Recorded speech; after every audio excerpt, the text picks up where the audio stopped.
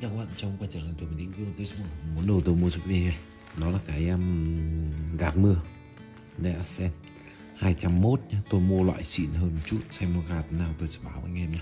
Lần tôi để link mua sản phẩm bên dưới thì tôi sẽ mở ra. Được tặng một cái um, khay.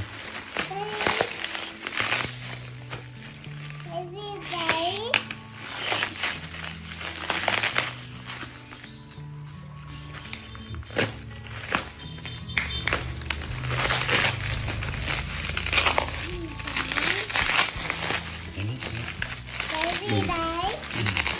Đầu tư cái uh, nó ngon tí xem nhá cái cũ khi dùng được thời gian nó nó bị uh, tiêu rồi nó sạch sạch là có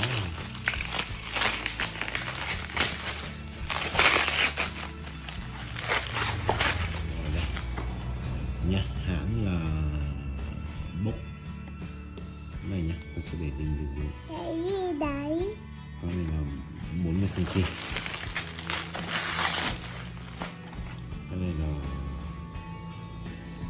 60 cm